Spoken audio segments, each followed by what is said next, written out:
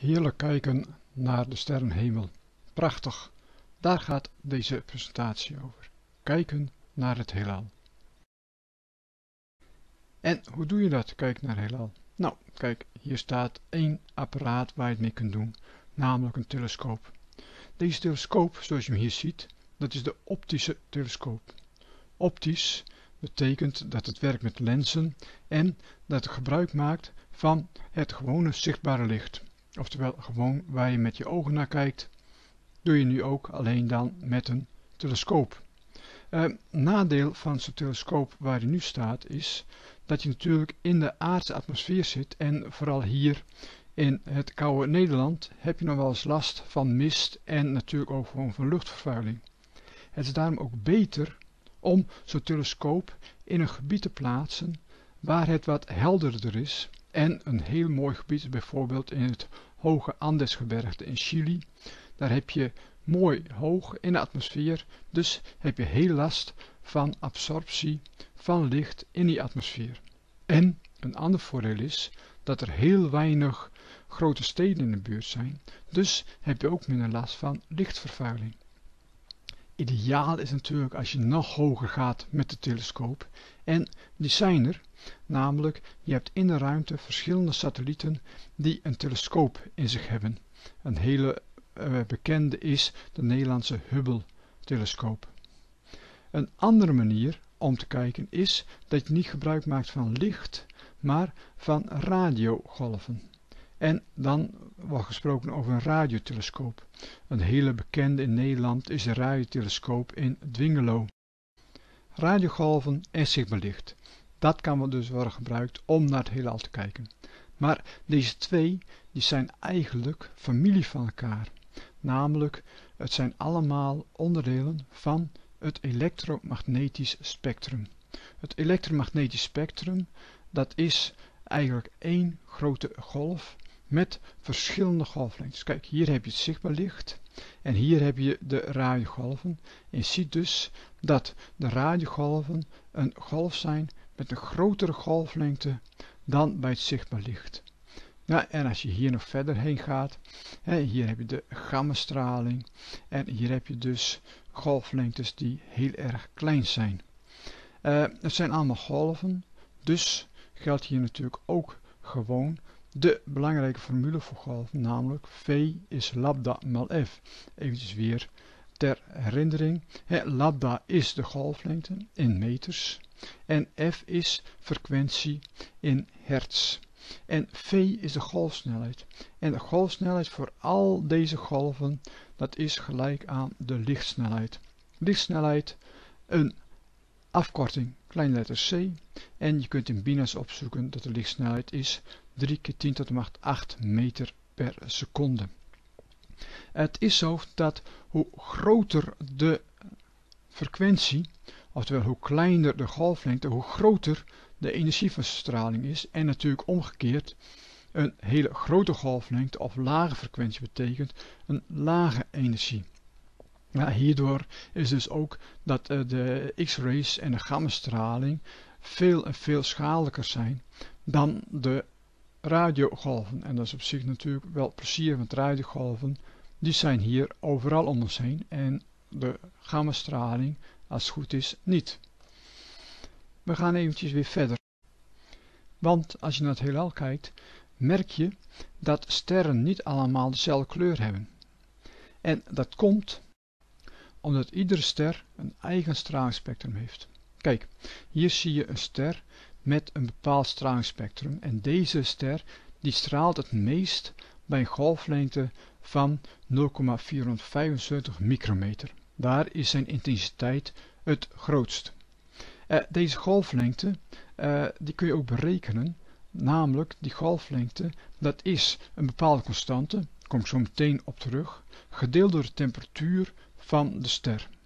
Die lambda max, dat is dus de golflengte waarbij de intensiteit maximaal is, en dat moet in meters worden gedaan. Uh, die temperatuur, die moet in Kelvin, en dan die constante, er staat een klein letter W onder en dat komt omdat die constante de constante van Wien is.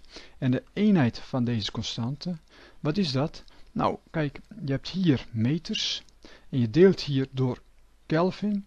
Dus hier aan deze kant moet eigenlijk ook meters komen te staan. Want ja, hier staat meters, dus hier moet ook meters moeten staan. Dus vandaar dat je de eenheid van constante van Wien is meter maal Kelvin. Dan kun je Kelvin boven onder wegstrepen en dan hou je meters over. Goed, die constante van Wien, hoe groot is hij? Kijk, daar heb je natuurlijk weer bina's voor. Tabel 7 staan heel veel van die natuurconstanten in. En ook de constante van Wien. Ja, kijk, daar staat die constante van Wien.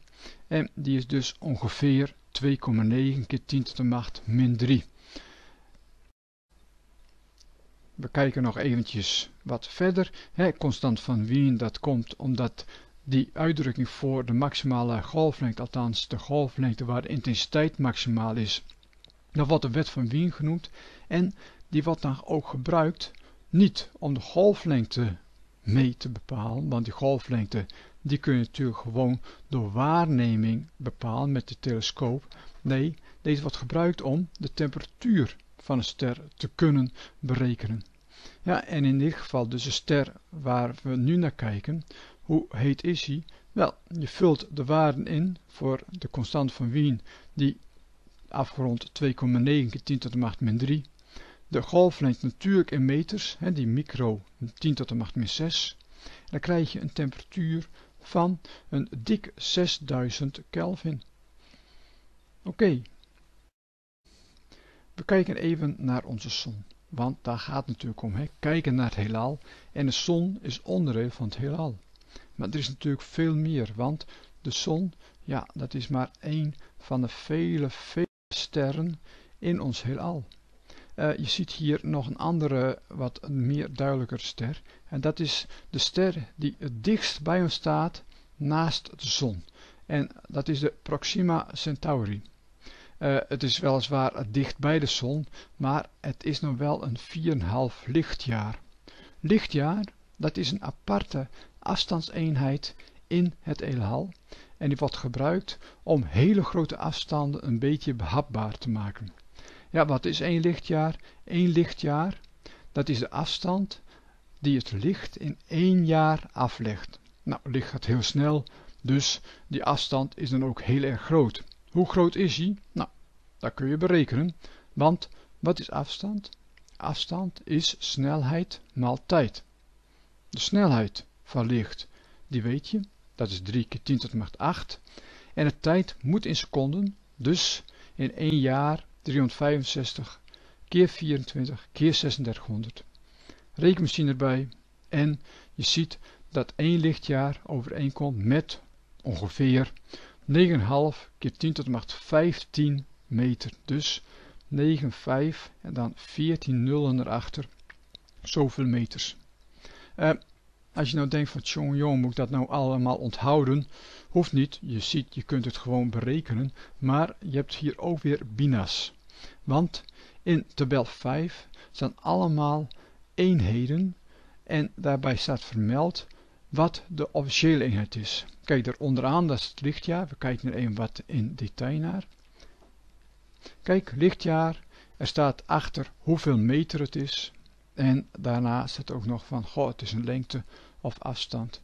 Ja, dus let op dat je bina's goed gebruikt, dat je weet wat waar staat. Eenheden kun je dus ook daar weer in opzoeken.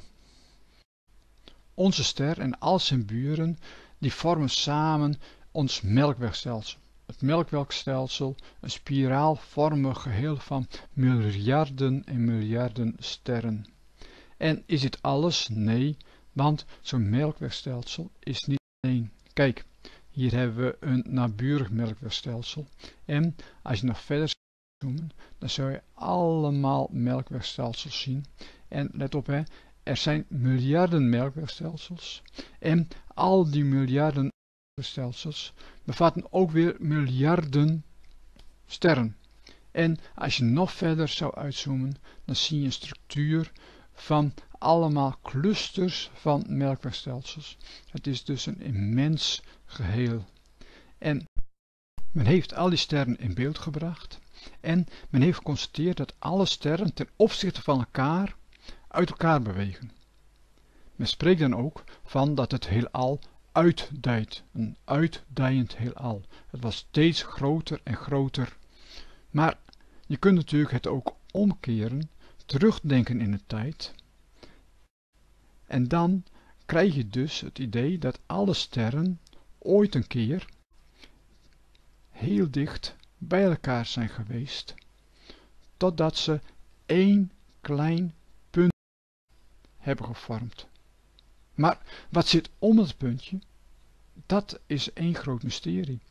Het is niet vacuüm, want vacuüm is onderdeel van het heelal, maar het heelal, dat is gecomprimeerd tot één klein puntje. Je kunt zelfs niet zeggen dat het niets is, want ook niets is gewoon een begrip wat in ons heelal betekenis heeft. Maar het heelal, dat is dat ene kleine puntje. Hoe dan ook, het ene kleine puntje, dat is ooit een keer geëxplodeerd. Waarom? Geen idee. Maar daaruit is ontstaan ons heelal. En het heelal ontstaan uit het ene kleine puntje, uit een singulariteit, dat is de Big Bang theorie, oftewel de oerknal. Tot zover. Kijk rustig rond naar het heelal. Weet wat je er allemaal tegenkomt. Tot ziens.